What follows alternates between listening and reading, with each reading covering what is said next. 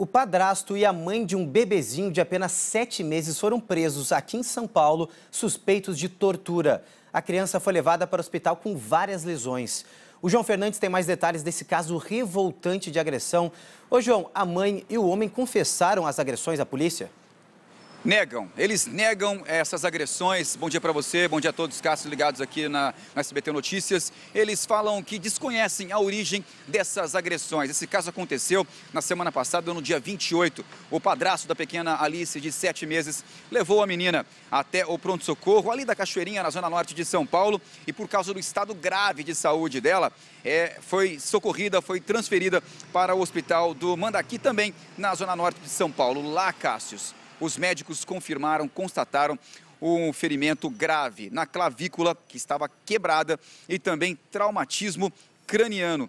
A pequena Alice Emanuele Santos Cavaleiro, ela tem apenas sete meses e ela foi socorrida pelo padrasto. Os dois depois, claro que esse caso, os funcionários ali, a equipe médica do hospital informaram aos policiais, os policiais tomaram é, conhecimento desse caso e levaram os dois, tanto o padrasto, né, o De Carlos dos Santos, de 42 anos, e a mãe também, a Graziele Santos Cavaleiro, de 25 anos, para a delegacia. Lá eles negaram, como eu disse, e a Graziele falou que deixou a pequena Alice com o padrasto e disse também, ela afirmou também, não saber o que aconteceu. Fato é que essa menina continua internada no hospital do Mandaqui, na zona norte de São Paulo, com uma clavícula quebrada e também traumatismo craniano. Os dois foram presos em flagrante por essas lesões pela grave lesão, esse ato de covardia. Eles estão presos e o conselho tutelar